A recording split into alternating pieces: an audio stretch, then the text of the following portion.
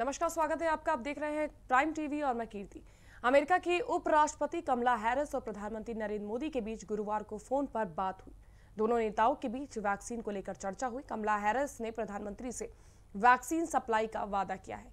News agency ANI ने सूत्रों के हवाले से दावा किया है, ये फ़ोन कमला हैरिस की तरफ़ से ही प्रधानमंत्री को किया गया था। प्रधानमंत्री ने ट्वीट कर लिखा, कुछ देर पहले कमरा हैरिस से बात हुई। मैंने दुनिया भर में वैक्सीन शेयरिंग के लिए अमेरिकी रणनीति के हिस्से के रूप में भारत को वैक्सीन की सप्लाई के आश्वासन की सराहना की। इसके अलावा अमेरिकी सरकार कारोबारियों और प्रवासी भारतीयों से मिले समर्थन के लिए भी उनका धन्यवाद दिया।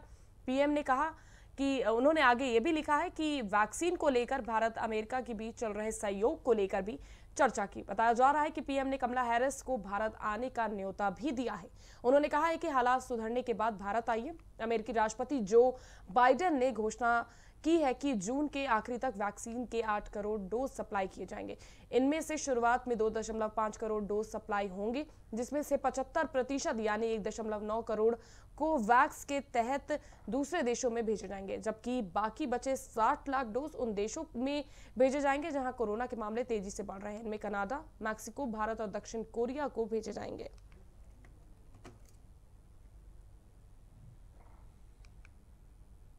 पंजाब में प्रदेश इकाई में चल रही कलह के बीच मुख्यमंत्री कैप्टन अमरिंदर सिंह आज पार्टी में आ, के बनाए पैनल से दिल्ली में मिलेंगे और अपनी बात रखेंगे। इससे पहले कल उन्होंने डिनर पर मंत्री सांसदों और विधायकों से मुलाकात की। पार्टी सूत्रों ने बताया कि समिति से मुलाकात के बाद अमरिंदर सिंह कांग्रेस के पूर्व अध्यक्ष राहुल गांधी के साथ डिजिटल बैठक भी कर सकते हैं। राज्यसभा में नेता प्रतिपक्ष मल्लिकार्जुन खड़गे की अध्यक्षता वाली समिति ने पिछले चार दिनों में पंजाब से ताल्लुक रखने वाले सौ से अधिक नेताओं से उनकी राय ली। इनमें अधिकतर विधायक हैं। समिति के पूरी कवायद से अवगत एक सूत्र ने बताया कि समिति ने सोमवार से बृहस्पतिवार के बीच सौ से अधिक नेताओं से संवाद किया। शुक्रवार को मुख्यमंत्री के साथ मुलाकात के बाद संवाद का ये सिलसिला खत्म होगा। इसके बाद समिति जल्द ही कांग्रेस आला कमान को अपनी रिपोर्ट सौंपेगी। खड़के के अलावा कांग्रेस महासचिव और पंजाब प्रभारी हरीश रावत और दिल्ली प्रदेश कांग्रेस के वरिष्ठ नेता जेपी अग्रवाल इस समिति में शामिल हैं। गौरतलब है कि हाल ही में कुछ सप्ताह में मुख्यमंत्री अमरिंदर सिंह और नवजोत सिंह सिद्धू के बीच तीखी बयानबाजी देखने को मिली है। विधायक परगट सिंह और प्रदेश कांग्रेस कमेटी के कुछ अन्य नेताओं ने भी मुख्यमंत्री के खिलाफ मोर्चा खोल दिया है।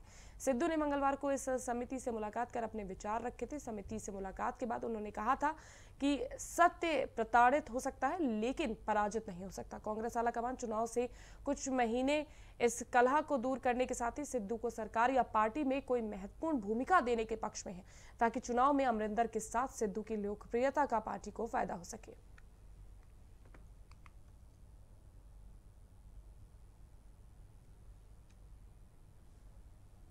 देश में इस वक्त कोरोना वायरस महामारी के अलावा बढ़ती महँगाई को लेकर भी हाहाकार मचा हुआ है। पेट्रोल, डीजल के हर रोज बढ़ते दाम और लॉकडाउन में महँगे फल और सब्जियों ने अब जनता की कमर तोड़ दी है। इस बीच छत्तीसगढ़ सरकार में तीन बार मंत्री रहे बीजेपी विधायक ब्रिजमोहन अग्रवाल ने बढ़ती महँगाई को लेकर बेतुका बयान दिया है। ब्रिजमोहन अग्रवाल ने कहा कि जिन्हें महँगाई आपदा लग रही है, वो खाना पीना छोड़ दे और पेट्रोल भरवाना भी छोड़ दे। इतना ही नहीं, कांग्रेस पर निशाना साधते हुए ब्रिजमोहन अग्रवाल ने कहा कि अगर कांग्रेस को वोट देने वाले और कांग्रेसी ऐसा कर लेंगे तो महँगाई कम हो जाएगी। ब्रिजमोहन के बयान पर प्रदेश कांग्रेस के प्रवक्ता सुशील आनंद शुक्ला ने ट्वीट कर कहा, देखिए, बीजेपी विधायक की बेशर्मी भरी सलाह। जनता खाना पीना बंद कर दे, पेट्रोल, डीजल का उपयोग बंद कर दे तो महँगाई कम हो जाएगी। दरअसल, इससे पहले कांग्रेस के प्रदेश अध्यक्ष मोहन मरकाम ने नरेंद्र मोदी सरकार के सात साल पूरे होने पर निशाना साधा था। मोहन मरकाम ने कहा था कि पिछले सात सालों में महँगाई दोगुने से ज़्यादा बढ़ गई है। ये एक राष्ट्रीय आपदा है। कोरोना के कारण लोगों की आय प्रभावित है। इससे दिक्कतें और बढ़ गई हैं।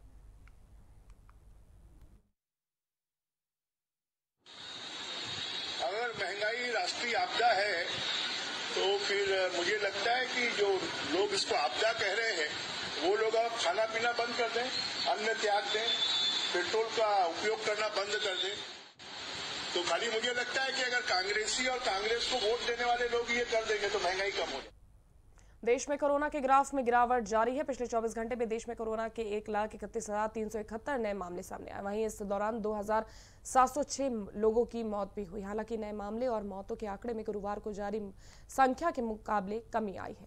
तीन जून को जारी कोरोना के आंकड़ों के मुताबिक एक लाख चौंतीस हज़ार एक सौ चौवन नए मामले और दो हज़ार आठ सौ सत्तासी मौतें दर्ज की गई। इधर दिल्ली में कोरोना के नए मामलों की संख्या में बड़ी राहत देखी जा रही है। वहाँ 24 घंटे में चार सौ सत्तासी नए केस सामने आए। वहीं महाराष्ट्र में भी आंकड़ों में कमी आती जा रही है। राजधानी दिल्ली में आए अप्रैल और मई के महीने में कोरोना का भयंकर प्रकोप था। दिल्ली नगर निगम के आंकड़ों के मुताबिक तीनों नगर निगम की ओर से चौंतीस से ज़्यादा डेथ सर्टिफिकेट जारी किए गए हैं, जो कि पिछले साल के मुकाबले 250 प्रतिशत से अधिक है। वहीं पिछले साल अप्रैल और मई के महीने में ही दिल्ली नगर निगम ने 9,916 मृत्यु प्रमाण पत्र जारी किए थे। इस साल अप्रैल के अंत में दूसरी लहर अपने चरम पर थी इसलिए इनमें से अधिकांश मृत्यु प्रमाण पत्र मई में जारी किए गए हैं।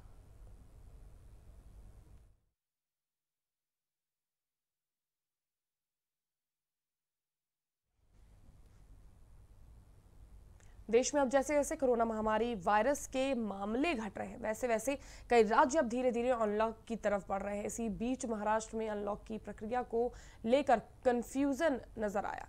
राज्य की महाविकास आधारी सरकार में आपदा प्रबंधन मंत्री विजय बड़े तिवार ने 18 जिलों में अनलॉक की घोषणा कर दी, लेकिन इसके बाद मुख्यमंत्री कार्यालय ने यह कहकर घोषणा पर रोक लगा दी कि अभी प्रस्ताव विचाराधीन है। मुख्यमंत्री कार्यालय ने बयान जारी करके कहा कि डिजास्टर मैनेजमेंट का प्रस्ताव विचाराधीन है। जारी बयान में कहा है कि अब तक महाराष्ट्र के कई ग्रामीण इलाकों में कोरोना संक्रमण कम नहीं हुआ है। ब्रेक द चैन के तहत प्रतिबंध धीरे धीरे कम किए जा रहे हैं, लेकिन कहीं पर भी लॉकडाउन खत्म नहीं हुआ है। विभाग की ओर से ढील देने के संबंध में पाँच लेवल तय करने का प्रस्ताव सरकार के पास विचाराधीन है।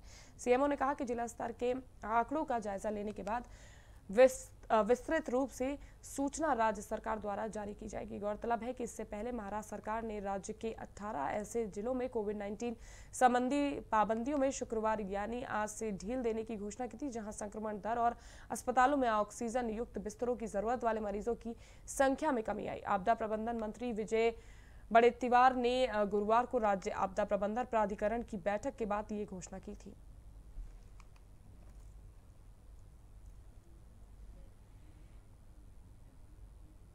घरेलू बाज़ार में चार जून के बाद तेल के दाम जारी कर दिए गए हैं। दो दिन के बाद आज तेल की कीमतों में बढ़ोतरी दर्ज की गई। सरकारी तेल कंपनियों द्वारा जारी कीमतों में पेट्रोल में 27 पैसे प्रति लीटर और डीजल में 28 पैसे प्रति लीटर महँगा हो गया है। इस बढ़ोतरी के साथ ही दिल्ली में पेट्रोल की कीमतें चौरानवे दशमलव सात छह रुपए प्रति लीटर, वहीं डीजल पचासी दशमलव छह छह रुपए प्रति लीटर पहुँच गया है। घरेलू बाज़ार में पेट्रोल और डीजल की कीमतों में गुरुवार और बुधवार को कोई बदलाव नहीं किया गया था। इससे पहले एक जून को पेट्रोल डीजल की कीमतों में उछाल आया था। इस महीने की शुरुआत में ही कीमत 26 पैसे प्रति लीटर और डीजल 23 पैसे प्रति लीटर की वृद्धि दर्ज की गई थी।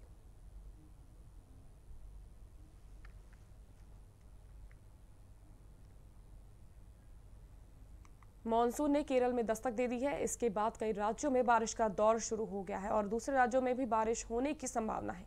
मौसम विभाग के अनुसार तेलंगाना, आंध्र प्रदेश के कुछ हिस्सों, पूर्वोत्तर भारत के कुछ हिस्सों और जम्मू कश्मीर और हिमाचल प्रदेश में हल्की से मध्यम बारिश के साथ एक दो स्थानों पर बारिश हो सकती है।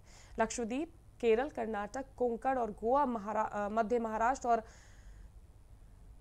रायलसमा में हल्की से मध्यम बारिश के साथ एक दो स्थानों पर तेज बारिश हो सकती है। वहीं पश्चिम बंगाल, सिक्किम, तमिलनाडु, उत्तराखंड और दक्षिण पूर्वी राजस्थान में हल्की से मध्यम बारिश की संभावना है। पंजाब के कुछ हिस्सों, राजस्थान के बाकी हिस्सों और हरियाणा के एक दो हिस्सों में हल्की आंधी मेघ गर्जना और बारिश की संभावना है। वहीं मध्य प्रदेश, छत्तीसगढ़ उड़ीसा और गुजरात में क्षेत्र में हल्की बारिश हो सकती है।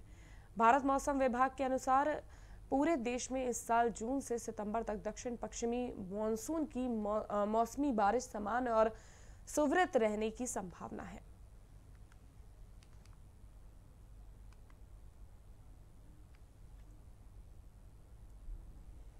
मुंबई से सटे थाने में बीती रात दो बड़े हादसे हुए। थाने के बदलापुर में कंपनी से गैस लीक होने से आसपास के लोगों में अफरा तफरी का माहौल हो गया।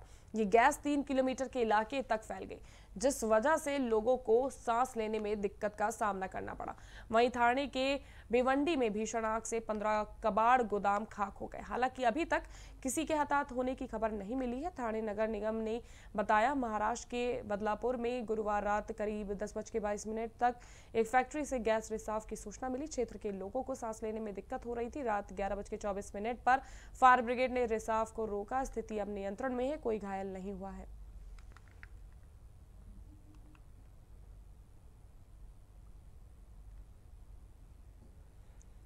राजस्थान के धौलपुर ज़िले में बच्चों के झगड़े को लेकर दो पक्षों में बवाल हो गया। एक महिला ने पहले तो लाठी से पिता और बेटी की जमकर पिटाई की, बाद में महिला ने छेड़छाड़ का आरोप लगाया। मारपीट में घायल हुए एक पक्ष के लोगों ने पुलिस थाने में मारपीट का मुकदमा दर्ज कराया। तो आरोपी महिला ने भी पुलिस थाने में छेड़छाड़ और मारपीट का मामला दर्ज करा दिया। इस झगड़े की पूरी वारदात सीसीटीवी कैमरे में कैद हो गई है। पुलिस ने मामला दर्ज कर जाँच शुरू कर दी है। बता दें कि शहर के ओडेला रोड स्थित प्रताप मार्केट में एक मकान है। उनके घर के सामने बच्चे बॉल खेल रहे थे, जिसको लेकर उन्होंने दूसरी जगह खेलने की बात की, क्योंकि बच्चों की बॉल से उनके घर का शीशा पहले भी टूट चुका है। इसे लेकर पड़ोस में रहने वाली एक महिला से कहा सुनी होगी जिस पर महिला लाठी लेकर आई और उन्होंने उस घर के मालिक और उनकी सात माफ़ कीजिएगा, नौ साल की बेटी पर एक के बाद एक लाठी से लगातार कई वार किए। जिससे पिता, बेटी दोनों घायल हो गए। बेटी के सिर में ज़्यादा चोट आई है, जो अस्पताल में भर्ती है। आरोपी महिला द्वारा लाठियों से कई वार करने की पूरी वारदात सीसीटीवी कैमरे में कैद हो गई।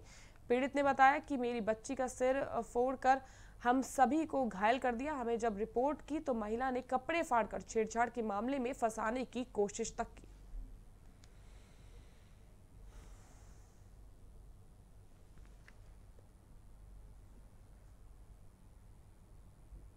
यूपी में कोरोना संक्रमण की पड़ताल के लिए आज से सीरो सर्वे शुरू हो रहा है। सीरो सर्वे प्रदेश के सभी 75 जिलों में होगा। सर्वे के माध्यम से ये पता लगाया जाएगा कि किस ज़िले में, किस क्षेत्र में कोरोना का कितना संक्रमण फैला है।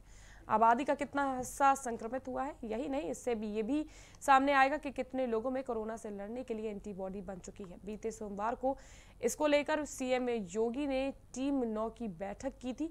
बैठक में सीरो सर्वे की तैयारियों का जायजा लिया था। इस दौरान अपर मुख्य सचिव स्वास्थ्य अमित मोहन प्रसाद ने बताया कि सर्वे को लेकर कार्य योजना तैयार हो चुकी है। सैंपलिंग कर ली का लिंग और आयु सहित विभिन्न मानकों पर सर्वेक्षण की रिपोर्ट तैयार की जाएगी। जिलेवार सर्वे करने वाले कर्मियों का प्रशिक्षण दिया जा रहा है। इसके परिणाम जून के अंत तक आने को, आने की संभावना है।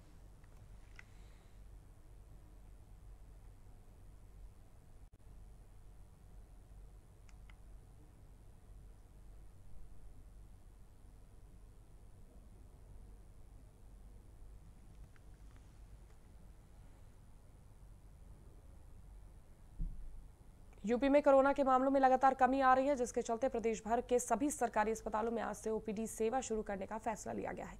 मुख्यमंत्री योगी आदित्यनाथ ने कोरोना के अतिरिक्त अन्य बीमारियों से ग्रसित मरीजों की भर्ती करने और उनको समय से इलाज की सुविधाएँ देने के लिए आदेश दिए हैं। एक सरकारी प्रवक्ता ने बताया कि मुख्यमंत्री के इस आदेश के बाद कोरोना के अलावा अन्य बीमारियों से ग्रसित लोगों को बड़ी राहत मिलेगी। सामान्य मरीज़ भी अस्पतालों में डॉक्टरों को दिखा सकेंगे। उचित परामर्श हासिल कर ऑपरेशन करना उनके लिए आसान हो जाएगा। उन्होंने बताया कि संक्रमण के बढ़ते मामलों के मद्देनजर जिन अस्पतालों के ऑपरेशन तीन महीने से रुके हुए हैं, उनके ऑपरेशन भी अब शुरू हो सकेंगे। प्रवक्ता ने बताया कि गर्भवती महिलाओं के साथ बच्चों की भी चिकित्सकीय सुविधाएँ मिलने से उनको राहत मिलेगी।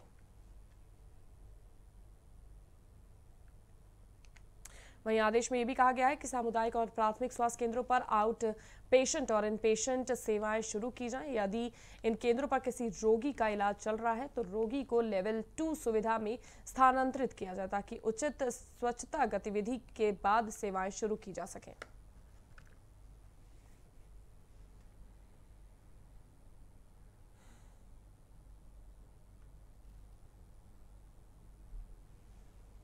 फ़िलहाल के लिए बस इतना ही। फिर हाजिर होंगे देश और दुनिया की तमाम खास खबरों के साथ। तब तक के लिए आप बने रहिए हमारे साथ और देखते रहिए प्राइम टीवी।